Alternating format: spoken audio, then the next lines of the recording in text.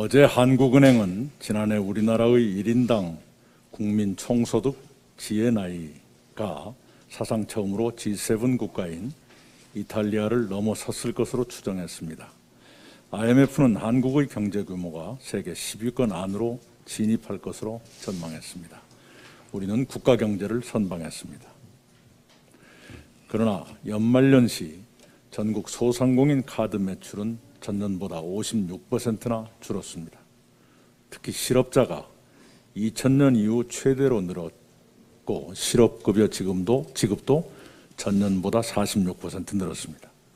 부동산 등 자산 시장 양극화는 사회 경제적 통합과 안정을 위협하는 수준이 됐습니다. 코로나는 역사상 일찍이 없었던 양극화 확대를 세계적으로 초래하고 있습니다. 우리나라에서도 양극화 확대는 경제의 민낯을 드러내고 있습니다.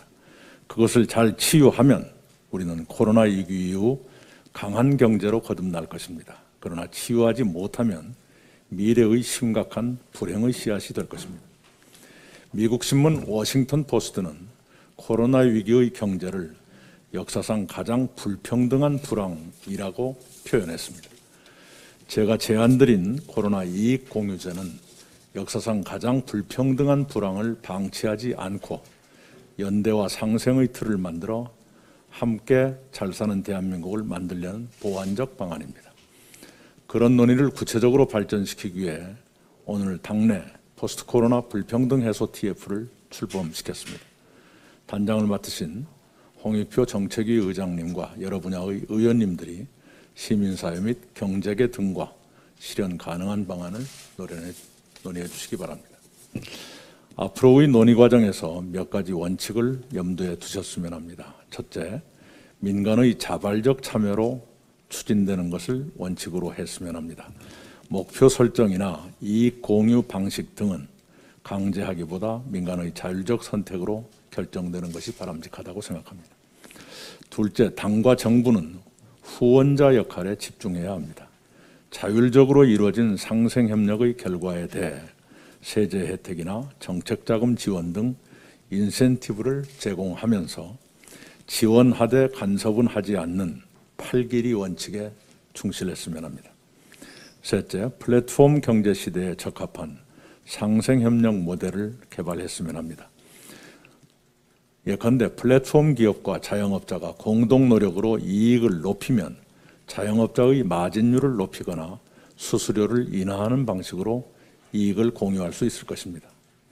이런 방안들은 해외에서는 일부 글로벌 기업들이 이미 시행 중이고 국내에서도 성공 사례가 있습니다.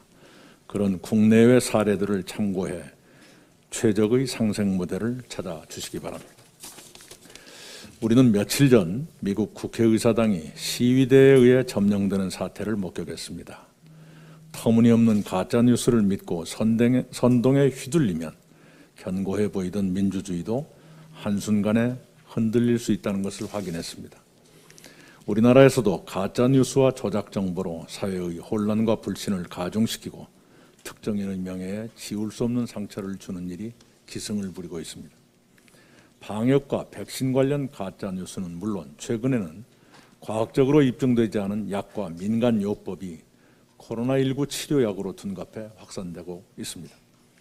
그것은 사회와 신뢰, 사회의 신뢰와 연대, 나아가 민주주의의 기반을 무너뜨리는 반사회적 범죄로 용납될 수 없습니다.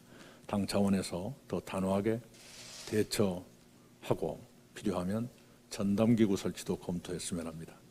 관련 입법은 2월 임시국회에서 마무리해야겠습니다. 이상입니다.